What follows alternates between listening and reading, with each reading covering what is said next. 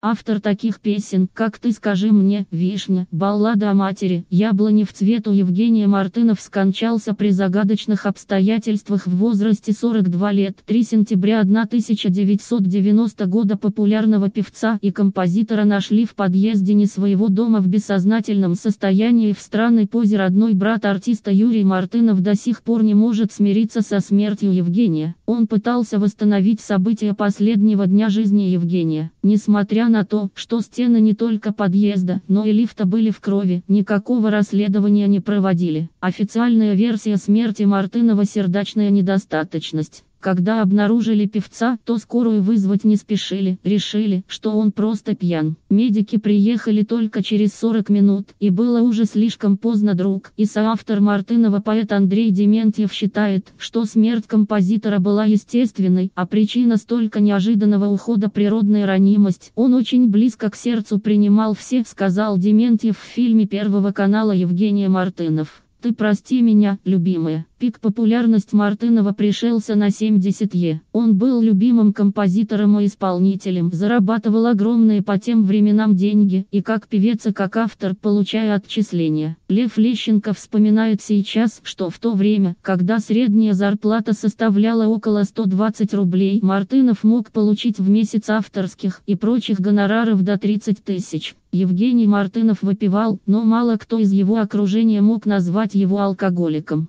По словам друзей и коллег, композитор был добрым и наивным человеком, легко и много давал в долг, и никому не мог отказать в компании, и дружбе Мартынов был всего один раз женат. Он встретил девушку своей мечты, когда ему уже было 30, а ей все 18. Они прожили счастливо всего 12 лет. Вдова Мартынова Эвелина до сих пор вспоминает последние дни рядом с мужем. Спустя 6 лет она снова вышла замуж, а позже навсегда уехала в Испанию. Сын Мартынова Сергей занимается бизнесом, собирается жениться на испанке, но безумно гордится своим отцом и знает все его песни наизусть. Клэс Поуст 482 662 подписчика.